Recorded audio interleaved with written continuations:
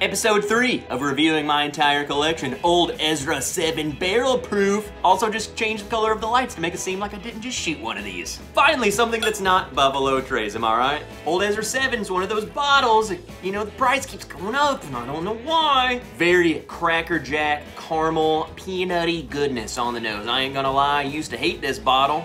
Then I gave it another chance and now I love it. Very peanut. It is like peanut butter just dessert. Absolutely amazing. My problem, this used to be $40, now it's like $60, $70.